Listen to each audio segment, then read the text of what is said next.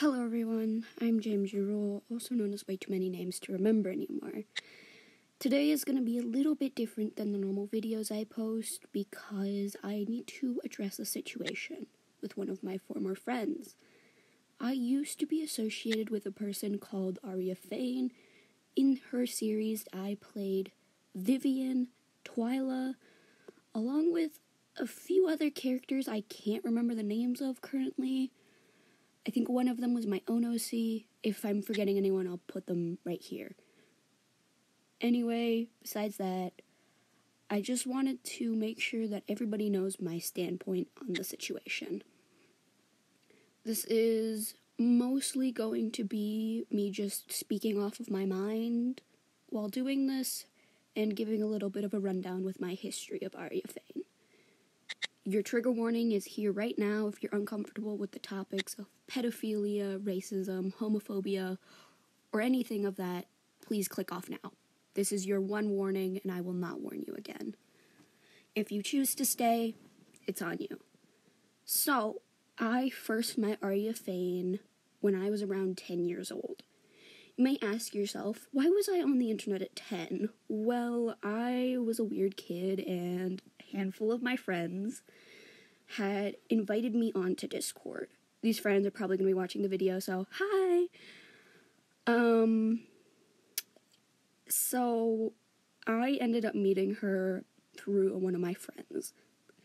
This friend will not be named, but he knows who he is. Still talk to him to this day, but it's easier just to not mention him by name he introduced me to one of my other friends who I talked to, and I eventually met AryaFein. She was under the impression when we first met that I was of around 14 years old. And I don't know what gave her that impression, as I had straight up told her one time, yeah, I'm not 14. She thought I was, and I was somehow in her cast after a point in time, you know, my Discord got deleted because I was 10 years old.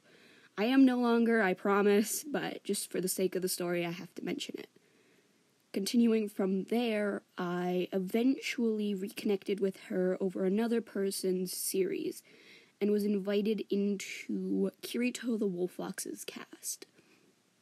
Eventually, from there, I managed to get into Arya's cast. Or, sorry, I have this. Yeah, I eventually was in Arya's cast, and then one of the people in that cast, Pandy three five one, was in that cast. In that cast, and I knew of Pandy, and my friends had told me about her, and I was like, oh, she's pretty chill. So eventually, I was in Pandy's cast, and so that is the history of me and Arya's relationship so far. Now, here's where it gets a little muddy. I knew Arya, like, she watched me grow up, basically. So it is a weird relationship the two of us really had. And one thing that was really pressured onto me was with a specific character I played for Arya, which was God, I can see him. Uh, it's Vivian. It was this bully character. And now I have the personality trait where it's like, yeah, I can play a mean character like that. Can do that. If needed, I will. But the thing that made me uncomfortable with playing her was the fact that Arya wanted me to basically flirt with everyone. And as a child, it was uncomfortable because I was flirting with adults. The only person I was ever comfortable with it was with Microwave because he explicitly asked me, Hey JMG, do you want to do this? This would be fun. And he also told me I didn't have to, and that it was just an idea he had, and if I wanted to, we could. Uh, I ended up going with it because I thought it would be a cool idea, but Arya wanted me to flirt with other characters, which made me uncomfortable. And as the person I am, I don't know how to tell someone I'm not comfortable with doing something. So I went with it anyway. And I really didn't know what to do in a lot of this. because I had known Arya for so long to the point where it was if I left, I felt like I was losing one of my friends. Like one of my like closest friends. And it's kind of hard to say because one of the main things Arya did to me myself, she would talk about sexual things with me. Um, and by that I mean one time specifically on her Christmas special episode, I don't think was ever uploaded. I asked her what she meant by something, and she said to me, quote, Arya and Drake are going to, you know, and have a kid. It was a weird experience to hear someone say to you when you're like literally a child. Like, I wasn't even old enough. Like, I'm not, I can say this much I am not 17 or anything like that. I'm not even the legal age of consent in Canada. So, hearing that said to me kind of put me on edge, but I just went with it anyway.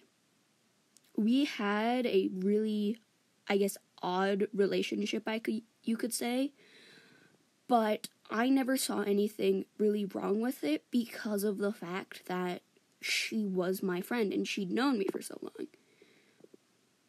My main issue with playing my one character, Twyla, was when I redesigned the character, she had a very um, obsessive thing over Twyla. And Twyla was made on a whim, completely just because I wanted to play a character and there was no characters I could play. That's why she was made in the first place. So, having someone kind of get obsessed with a character that you play as a child, I was pretty uncomfortable, as you would imagine. But I, I never said anything because I thought to myself, well, all my friends are here, might as well not say anything. And I want to just apologize to one of my friends, um, Pandy351 PC. I know you're probably going to be watching this when I upload it. I am so sorry a bunch of this I haven't told you before. I just I didn't know how to. It is one thing in my mind with AryaFein. It was one thing with me for her to tell me that she liked the design of Twyla, and it was another thing to outright ask me if she could buy Twyla from me.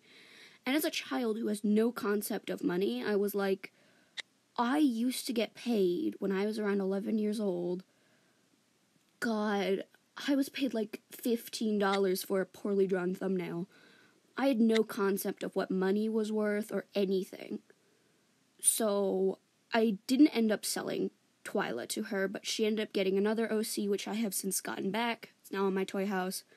Love that OC to death. It's just Arya really made me uncomfortable at times, but I didn't know how to tell anybody.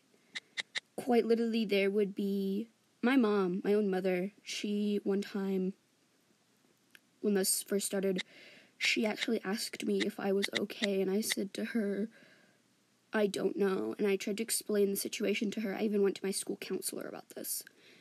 My school counselor was like, At least you're out of the situation, you're fine now. Um, I wasn't fine at the time. I just needed to tell somebody. And that was the only person I thought I could trust who was an adult in my life. From there, there was. I remember Arya always. Sorry, I just bumped my microphone, so sorry about that. Arya always kind of tried to keep me in things for some reason. Like, I was the one person who I guess you could say everybody knew, but no one really talked to a lot of the time. I, I don't know if that makes sense, but I just. She made me uncomfortable with a lot of things, but because I'd known her for so long, I just thought to myself, well, this is normal. Because when you grow up in an abusive household like I did, you don't have a perception of what is right and what is wrong. You just think, oh yeah, this is normal. this is what I saw when I grew up. And you go with that. So, constantly seeing people fight in this situation really hurt me in my own way. Um, I feel almost like I shouldn't be saying some of this stuff because if I do, I'll almost like get attacked for it, but it's just Arya would come to me with a lot of things when there was issues as well. And by that I mean like, oh, I would ask her, "You doing okay?" and then we would call. So it was like I always accidentally knew what was happening when anything went on. And as a lot of people know me, I am the most oblivious person you will ever meet. So if I know about a situation, you know it's bad. My dogs are barking. I'm so sorry. It just. It, it's one of those things where I had known her for so long to the point where I was confused and thought that I was completely fine when I was extremely uncomfortable. I'm actually going to pause right here with my recording. One second.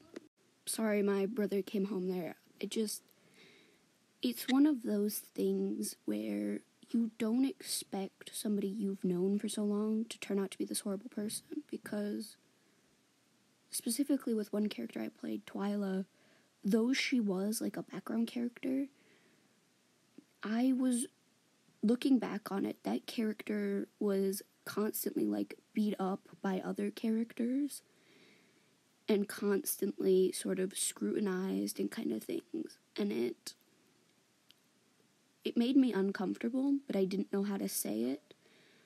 Again, it's mostly my fault with a lot of these things where I didn't say things, but it's also the fact of the matter that I was the child in this situation. I. There's not much I could have done differently to have done things better, but it was just that I didn't feel like that I had a right to say anything. For all that I had fun in Arya's cast, I would never go back. I would never do that again because the amount of emotional and mental strain it put on me is something no one my age should deal with. Like, I know a lot of people have it worse out there than me. A lot of people have dealt with a lot more than I have. But I would never go back and do that again. Because the amount of mental anguish that I was in half of the time was horrible. It it's like when you're you know those things when somebody's when the dog's on a treadmill and it's running after whatever that's how I felt. It felt like a game of cat and mouse. But there's no exit out, there's no mouse hole. And I constantly had to do what was expected of me, otherwise, I was seen as this bad person, this bad friend.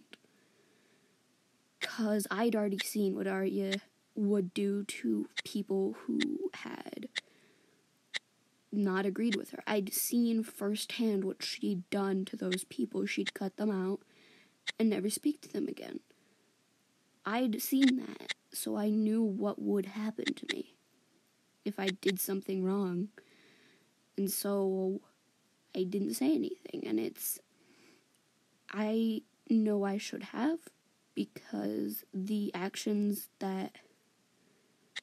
The things that happened in that cast weren't okay, but it also wasn't okay that I didn't say anything. I I really do apologize to my friends who might be offended or upset by this whole video here, but it's. I need people to know about my side of the story and that I don't. I don't respect what AryaFein did, and I don't agree with what she did at all. I like I personally knew her like for years. I'd known her for a long time. So it was just so sudden. I originally wanted to stay neutral on this all until the pedophilia came out, and I just. I really do apologize to any of my friends who I hurt in this situation and the actions that I made. That's all from me. I. I'm not sure how I'm going to end this, but I'll catch you in the next one.